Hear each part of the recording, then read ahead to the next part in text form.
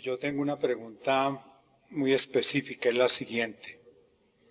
Eh, a finales del 2001, del 2000, siendo usted presidente, especialmente en el mes de noviembre, se desarrolló lo que ha quedado como la Operación Berlín en Santander, en donde murieron una cantidad muy grande, todavía no tenemos una cifra exacta, de niños y niñas que las FARC habían reclutado y traían desde el Guaviare a respaldarlos o a participar en el Magdalena Medio.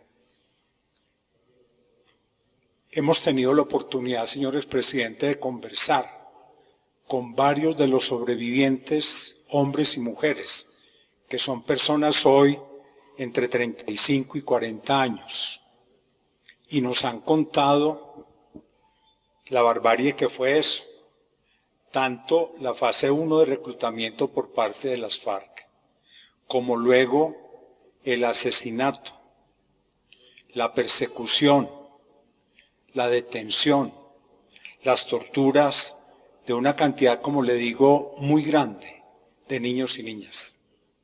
Esto para nosotros, y lo hemos seguido investigando, y le quiero decir que todavía hoy estamos encontrando cosas que no esperábamos, de unos niveles, por ejemplo, de violencia sexual contra estos niños y niñas escandalosa.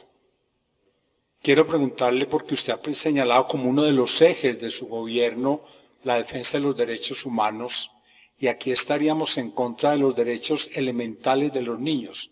Y tenemos constancia, señores presidente, que el ejército sí sabía que ahí estaban niños y que se ahí atacaban. es que ya la memoria también de veintitantos años. Noviembre del 2000. Del 2000. Del 2000.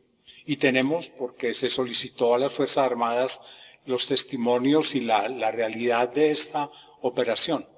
Usted como comandante en jefe de las fuerzas militares en ese momento tuvo información de eso y cuál fue su posición y si no, si hubo después, una vez se supo la gravedad de esto, hubo de parte de su gobierno una actitud firme, radical, frente a una violación de ese tamaño, no solo de los derechos humanos en general, sino de los derechos fundamentales de niños y niñas del país.